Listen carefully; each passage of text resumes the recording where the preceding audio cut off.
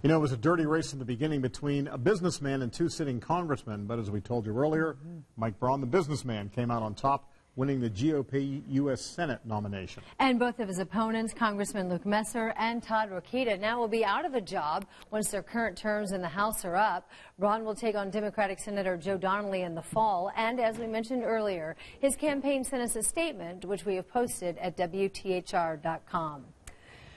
Just within the last 30 minutes, a controversial GOP Senate candidate in West Virginia conceded to the incumbent winner, and the president may have played a role in the outcome. Don Blankenship is an ex-convict who served time for a deadly coal mine explosion.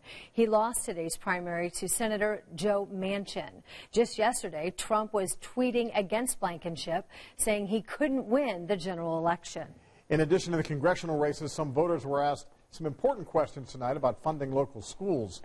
In Avon, voters approved a school tax referendum 55 to 45 percent. In Marion County, the Warren Township Schools tax referendum passed with 65 percent of the voters saying yes, 35 percent said no. And in Madison County, Anderson voters approved both of the school referendums. Both the renovation and tax referendums were passed 60 to 40.